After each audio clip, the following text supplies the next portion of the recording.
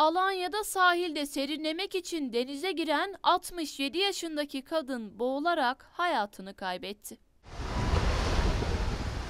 Olay sabah saatlerinde Oba mahallesindeki sahilde meydana geldi. 67 yaşındaki bir kadın serinlemek için suya girdi. Bir süre sonra suda hareketsiz durduğu fark edilen kadın vatandaşlar tarafından kıyıya çekildi. İhbarın ardından olay yerine sevk edilen sağlık ekipleri tarafından ilk müdahalesi yapılan kadın ambulansla hastaneye kaldırıldı. Hastanede yapılan tüm müdahaleye rağmen talihsiz kadın yaşamını yitirdi.